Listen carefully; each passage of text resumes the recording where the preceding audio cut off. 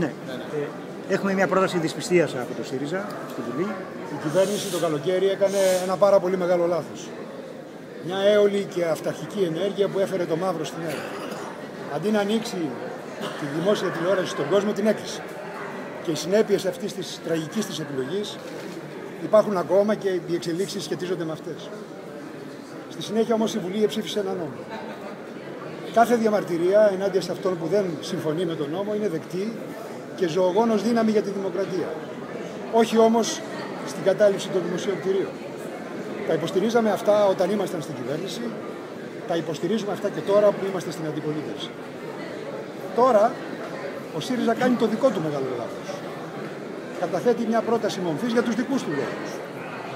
Μη κατανοώντας τι λένε σήμερα οι πολίτες. Μη έχοντας σχέση με τη συντριπτική πλειοψηφία των Ελλήνων πολιτών.